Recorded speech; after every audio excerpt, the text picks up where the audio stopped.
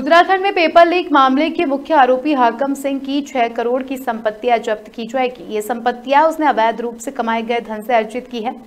Gangster act के तहत संपत्ति जब्त करने की कार्रवाई के लिए एसटीएफ ने जिला अधिकारी देहरादून को रिपोर्ट भेज दी। इसके अलावा कुमाऊं और लखनऊ में एसटीएफ की टीमें आरोपियों की संपत्तियों का आकलन कर रही है। बता दें कि पेपर लीक मामले में उत्तरकाशी के जिला पंचायत सदस्य हाकम सिंह का नाम आया था। एसटीएफ ने हाकम सिंह को विदेश से आते ही 13 अगस्त को गिरफ़्तार कर लिया।